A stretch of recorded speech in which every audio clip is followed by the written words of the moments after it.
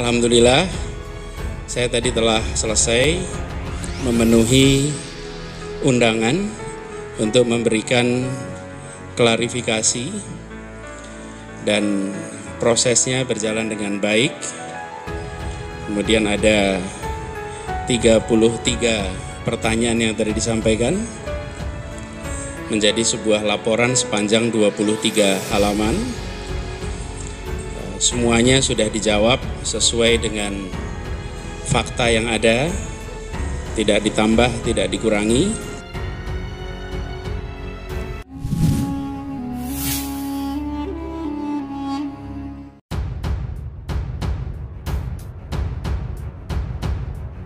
Luar biasa, kemarin Anis dapat panggilan polisi, hari ini Anis raih penghargaan bergengsi.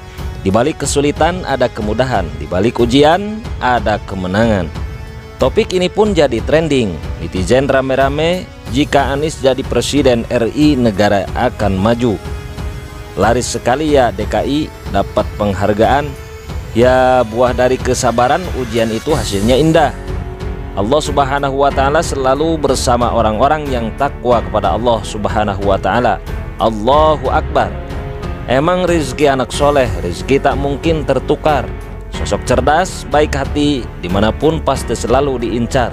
Meski non pencitraan dan non koar-koar, tapi hasilnya selalu membuat kagum serta salut lokal dan luar.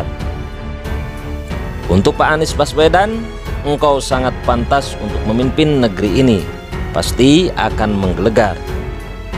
Pak Anies di saat orang-orang membencimu tanpa alasan yang jelas ingatlah bahwa Tuhan sangat mencintaimu tanpa syarat. Luar biasa, kemarin Anies dapat panggilan polisi, hari ini Anies dapat penghargaan bergengsi. Waduh, Pak Anies kok tiap hari memborong penghargaan terus sih? Gak merasa capek ya Pak? Jangan diborong sendiri semuanya dong Pak Soalnya saya merasa iri pak Tapi Anda sangat keren. Selamat ya pak. Tetap berkarya di tengah hujannya cacian dan fitnah. Allah Maha Kuasa dan tidak ada yang bisa menghentikan kehendaknya.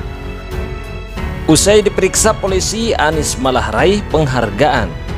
Tagar tersebut muncul seiring dengan pemberitaan Anies Baswedan yang menjadi imam sholat maghrib saat pemeriksaan di Polda Metro Jaya, Jakarta Selasa 17-11-2020. Pemanggilan Anies sendiri untuk mengklarifikasi atas dugaan tindak pidana tidak mematuhi penyelenggaraan kekarantinaan kesehatan saat acara maulid Nabi dan pernikahan anak Habib Muhammad Rizik Syihab di Pertempuran Jakarta Pusat Sabtu 14.11.2020. Adapun pada rakaat pertama, mantan Menteri Pendidikan dan Kebudayaan itu diketahui membaca surah Al-Insyirah yang berarti kelapangan. Para warganet tampak bersimpati dengan yang apa dilakukan Anies ini. Mereka pun mendoakan agar Anies menjadi pemimpin Indonesia mendatang. Insya Allah ini cara Allah untuk menyiapkan Anies Pol Presiden RI 2024 Tulis akun at Mas Piu yang seperti dikutip redaksi Rabu 18.11.2020 Banyak pelajaran yang terkandung dalam surah Al-Insyirah dalam surah tersebut Allah Subhanahu wa taala menegaskan bahwa di balik sebuah kesulitan pasti ada kemudahan Pernyataan itu bahkan diulangi Allah sampai dua kali. Akan tetapi, sebagai manusia tetap harus berusaha dan tidak hanya menunggu keajaiban datang. Surah Al-Insyirah juga mengingatkan kepada manusia bahwa satu-satunya tempat untuk memohon hanyalah Allah semata. Manusia tidak boleh berharap segala sesuatu selain kepadanya.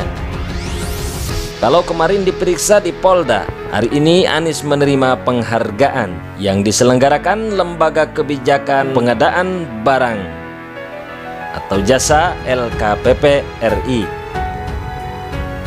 Penghargaan ini diapresiasi netizen. Anies diibaratkan emas meski coba dibenamkan dalam lumpur, emas tetap emas.